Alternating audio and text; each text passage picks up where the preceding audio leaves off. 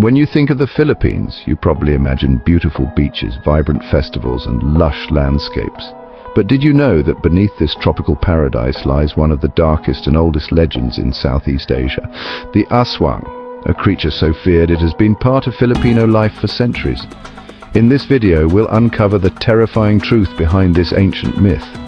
Stay with me until the end because I will reveal a chilling fact about the Aswang that will make you question if these legends are just stories. Thanks for joining today's video. Let's start. So, you've heard of the Aswang, right?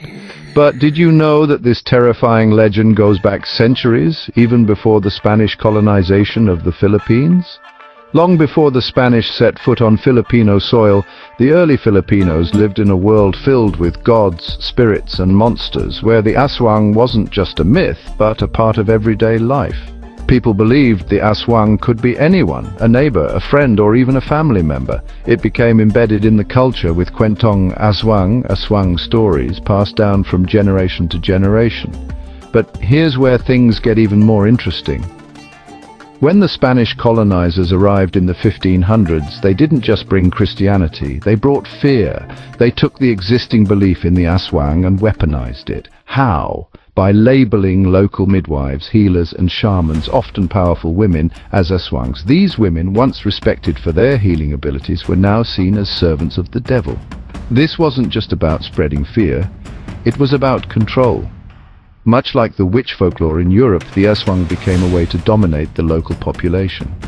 The Aswang's origins trace back to regional folklore, particularly in Bicol, where the tale revolves around two rival gods, Gugurang, the protector, and Aswang, a dark force that sought to destroy harmony.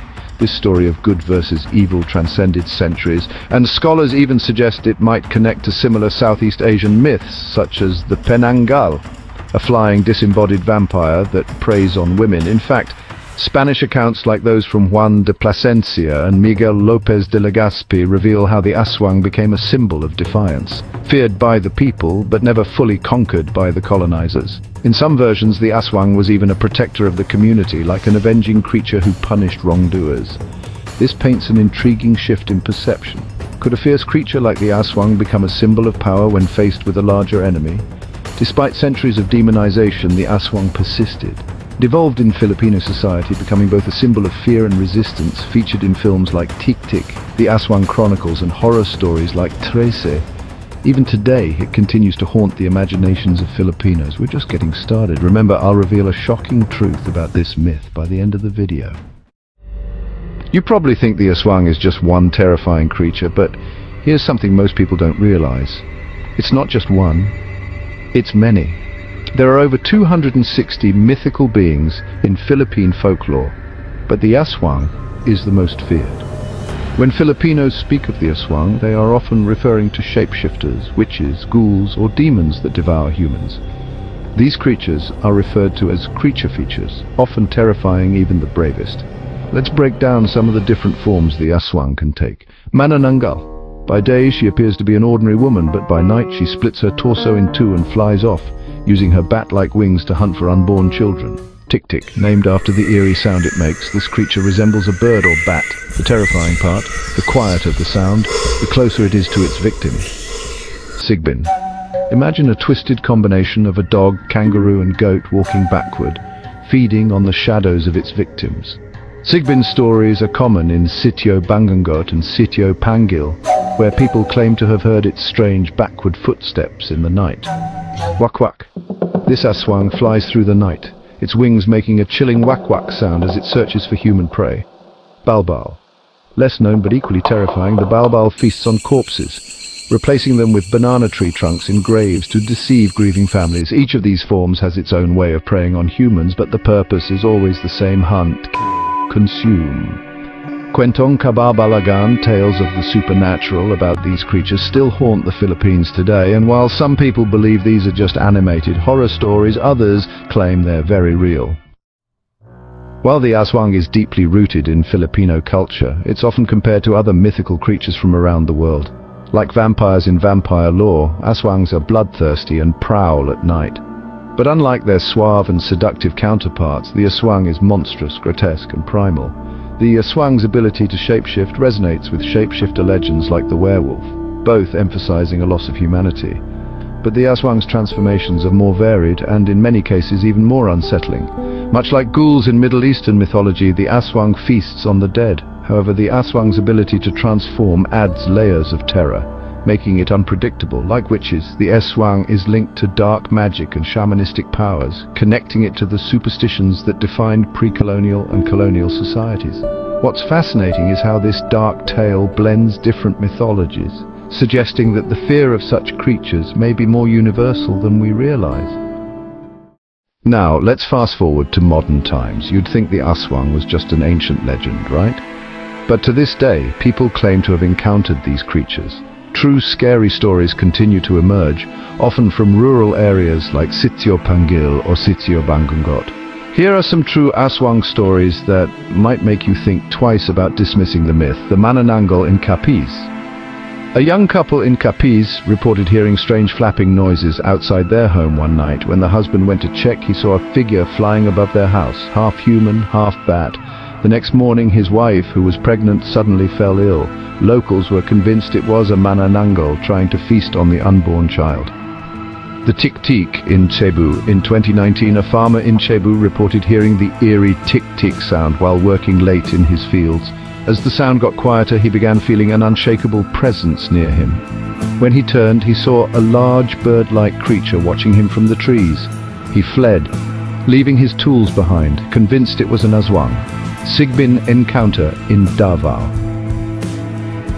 A family from Davao claimed to have seen a strange creature with glowing red eyes lurking around their home at night in 2020. It resembled a dog but moved oddly, with a backward gait.